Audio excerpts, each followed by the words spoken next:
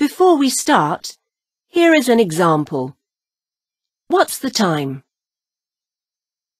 Have you got the time? Yes, it's twenty past three.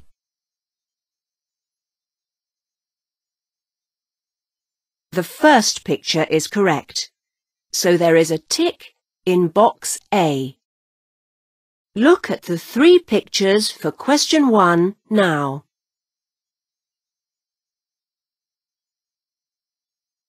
Now we are ready to start. Listen carefully.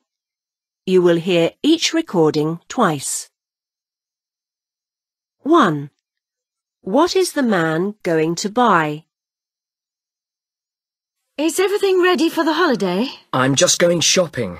I must get those pills I take when I feel travel sick. Do we need anything else at the chemist's? We forgot the toothpaste last time. I've got that. I haven't got any sunglasses, but I can borrow yours, can't I? And I'll get something to read at the airport. Right.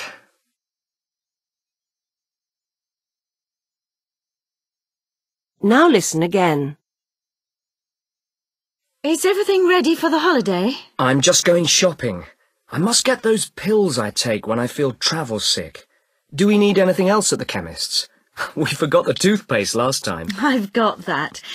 I haven't got any sunglasses, but I can borrow yours, can't I? And I'll get something to read at the airport. Right.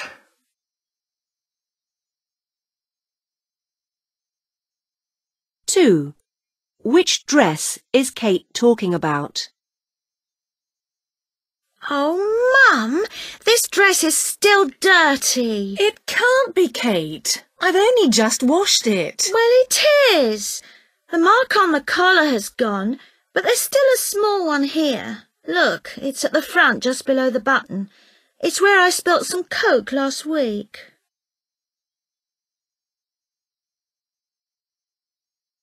Now listen again. Oh, Mum, this dress is still dirty. It can't be, Kate. I've only just washed it. Well, it is. The mark on the collar has gone, but there's still a small one here. Look, it's at the front just below the button. It's where I spilt some coke last week.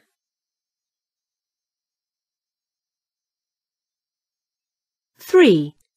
When will Jane meet them? Hi, it's Pete here.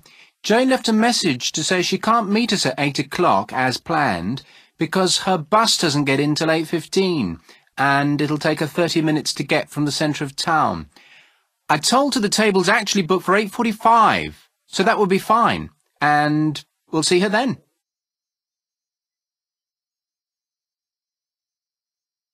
Now listen again. Hi, it's Pete here.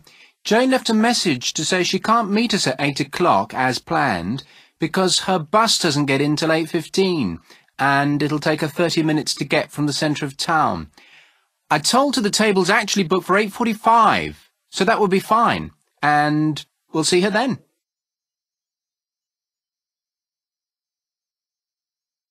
Four.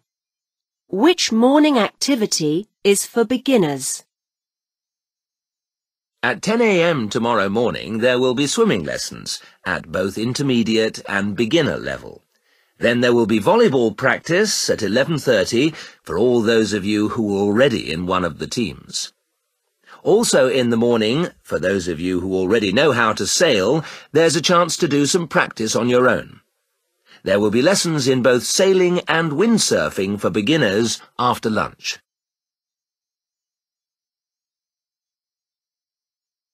Now listen again. At 10 a.m. tomorrow morning, there will be swimming lessons at both intermediate and beginner level.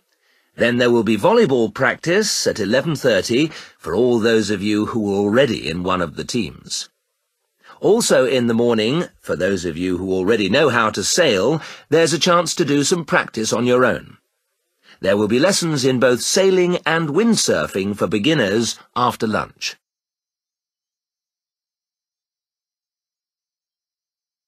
5. Which painting does the woman decide to buy?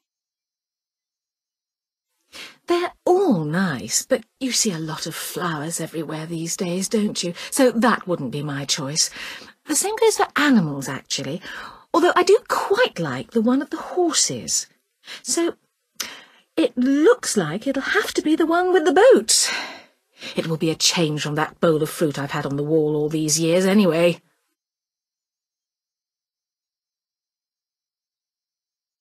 Now listen again. They're all nice, but you see a lot of flowers everywhere these days, don't you? So that wouldn't be my choice. The same goes for animals, actually, although I do quite like the one of the horses.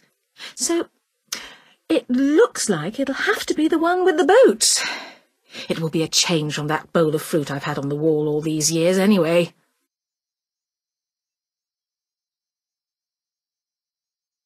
Six.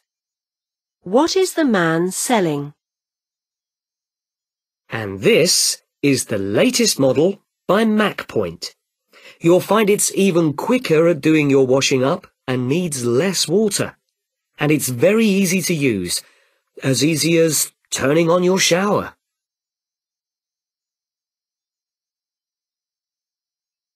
Now listen again. And this is the latest model by MacPoint. You'll find it's even quicker at doing your washing up and needs less water. And it's very easy to use, as easy as turning on your shower.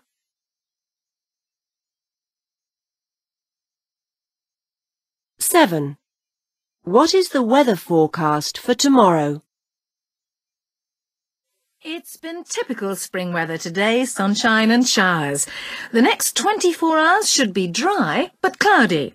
Things look better for the next week, with Monday being a fine sunny day and the following day mild but windy.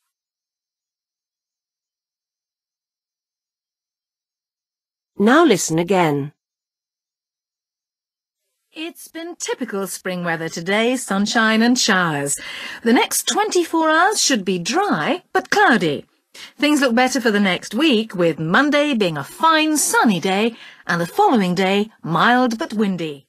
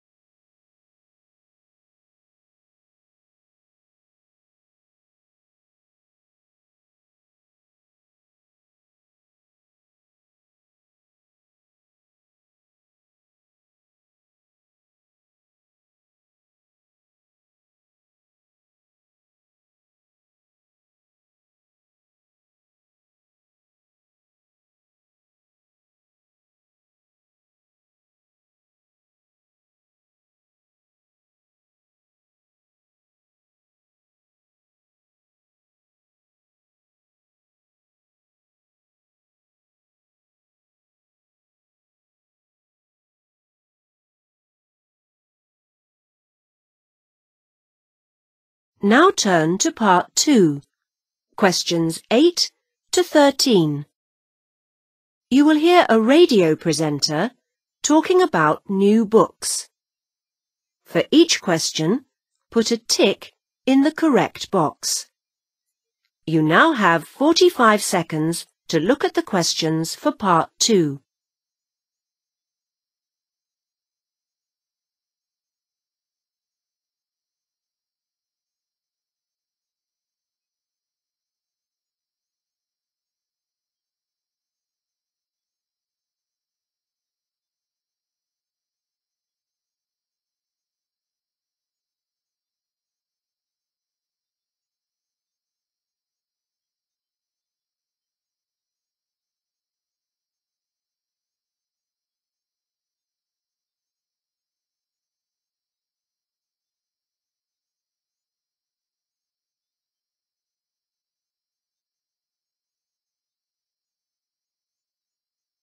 Now we are ready to start. Listen carefully. You will hear the recording twice. Welcome to this week's book programme. We've got lots of great new books to tell you about.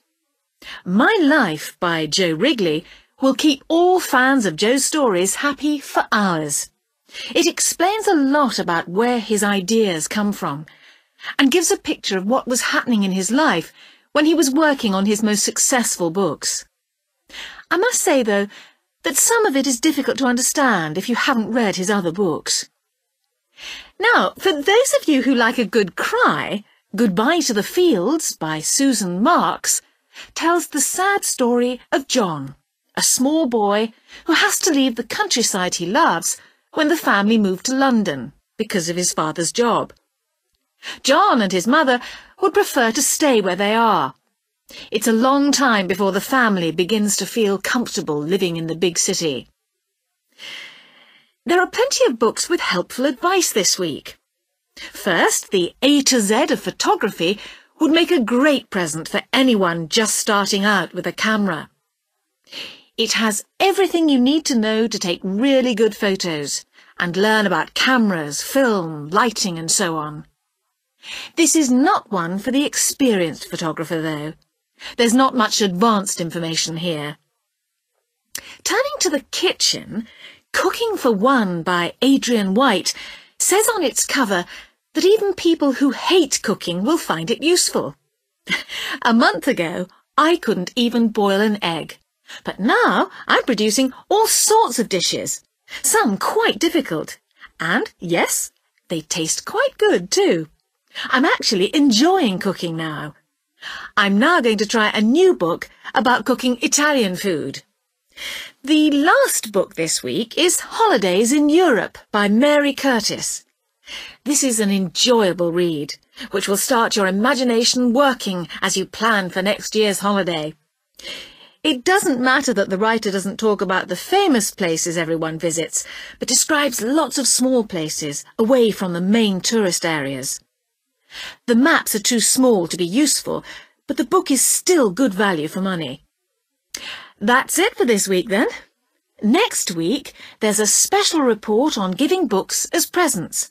So, if you've saved up your money and you're wondering what to get for a friend or relation for their birthdays, you might get some good ideas. I'll look forward to talking to you then.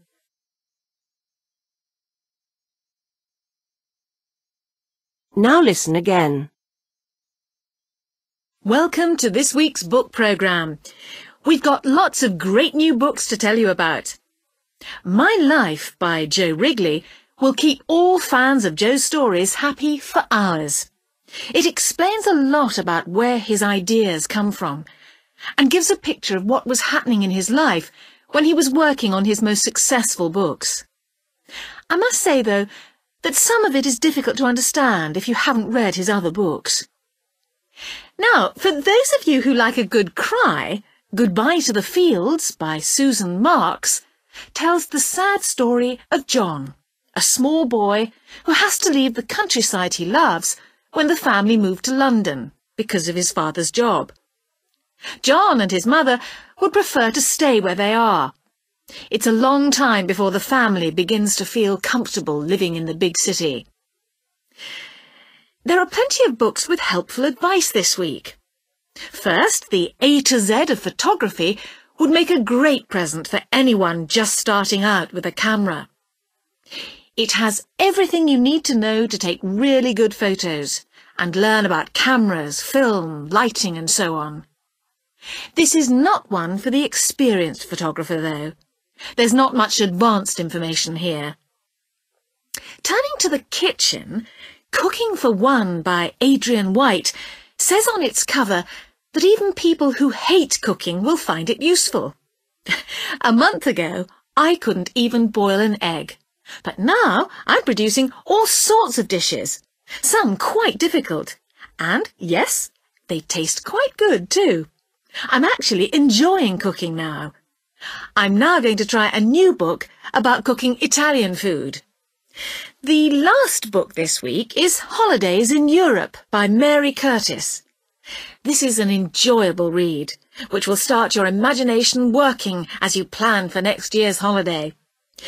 It doesn't matter that the writer doesn't talk about the famous places everyone visits, but describes lots of small places away from the main tourist areas. The maps are too small to be useful, but the book is still good value for money. That's it for this week then. Next week, there's a special report on giving books as presents. So, if you've saved up your money and you're wondering what to get for a friend or relation for their birthdays, you might get some good ideas. I'll look forward to talking to you then.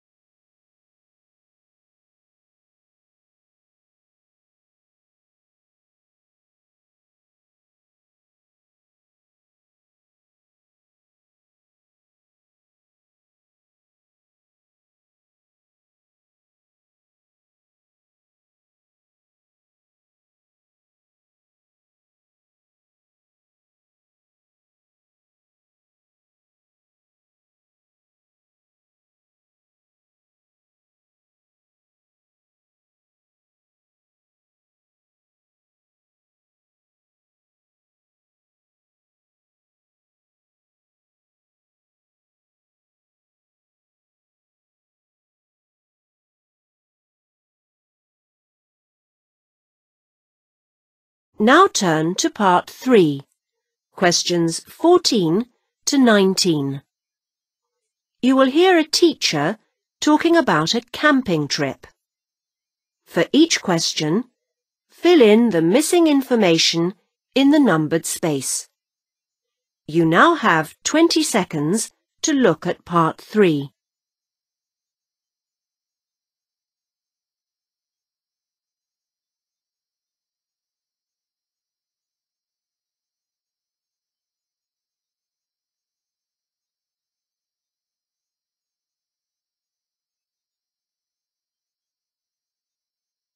Now we are ready to start.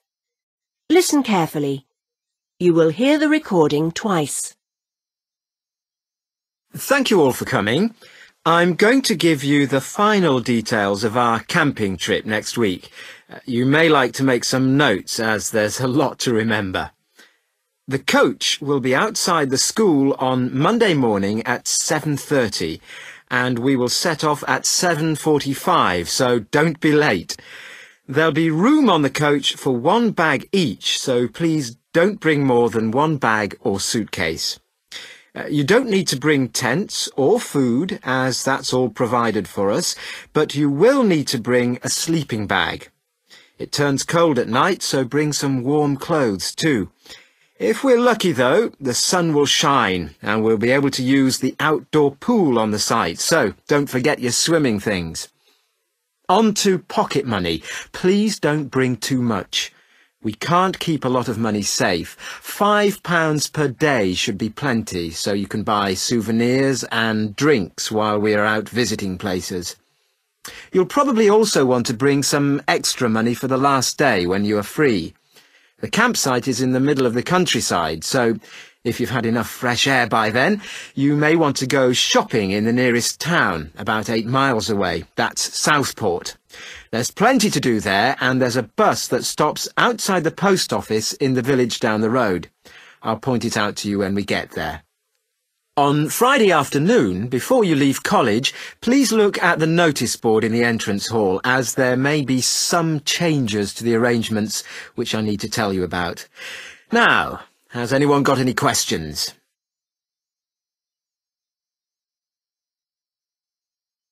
Now listen again. Thank you all for coming. I'm going to give you the final details of our camping trip next week. Uh, you may like to make some notes as there's a lot to remember.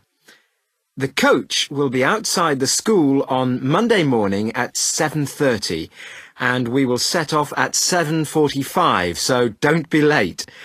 There'll be room on the coach for one bag each, so please don't bring more than one bag or suitcase.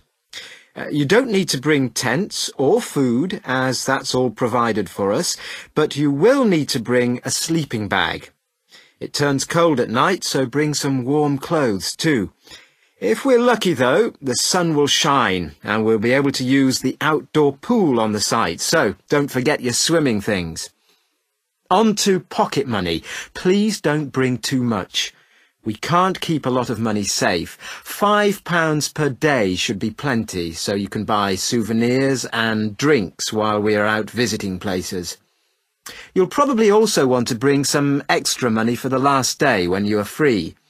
The campsite is in the middle of the countryside, so if you've had enough fresh air by then, you may want to go shopping in the nearest town, about eight miles away. That's Southport. There's plenty to do there, and there's a bus that stops outside the post office in the village down the road. I'll point it out to you when we get there. On Friday afternoon, before you leave college, please look at the notice board in the entrance hall, as there may be some changes to the arrangements which I need to tell you about. Now, has anyone got any questions?